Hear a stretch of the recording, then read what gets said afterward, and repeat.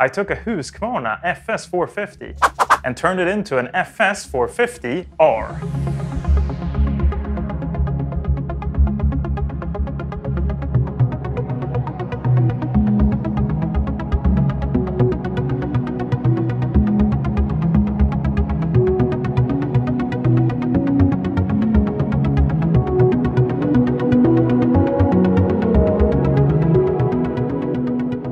This is the second part of my build series that I started quite a long time back.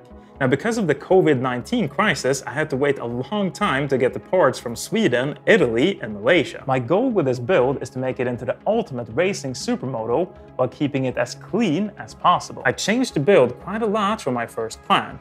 So let's walk through the bike from the front to the rear end. I have a double disc braking system from PC5 Cobra that's fitted to custom fork bottoms from the same company that's fitted to a pair of RX48 Öhlins front forks. In my personal opinion, the double disc braking system provides better brake feel, and you also have to use less brake pressure for the same amount of brake force.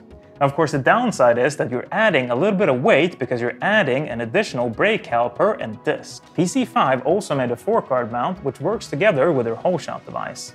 It essentially enables you to put the hole shot device a lot further down on the fork guard, because this mount is a lot more rigid than just screwing the plastic of the fork guard into the fork bottoms. The front forks are Öhlins RX48s, with a custom setup for Supermoto and a spring rate that's adapted to my weight with gear. The front wheel is from Alpina and the hub is from PC5 that accepts the double disc system. And of course, the rubber is from Michelin. The triple tree is from PC5 as well, which again works with a double brake system. And of course, the master cylinder is from PC5 as well. Then I also have an AIM Solo 2 GPS system, which I can track my lap times with. Working my way rearwards, I have a Tekmo titanium and carbon fiber exhaust system and some nice little carbon fiber bits to protect the engine and the frame. Now we come to one of the most important bits if you want to improve the performance of the motorcycle, the rear suspension. So this rear suspension is from Öhlins and it's their flow. I also changed the linkage to one from Spyder.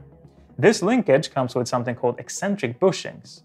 So these bushings allows me to change the geometry of the entire linkage. And this allows me to adjust how progressive the rear suspension is. Everyone that sees this bike at the track is most interested in this bit. And that is of course the swing arm from Tekmo.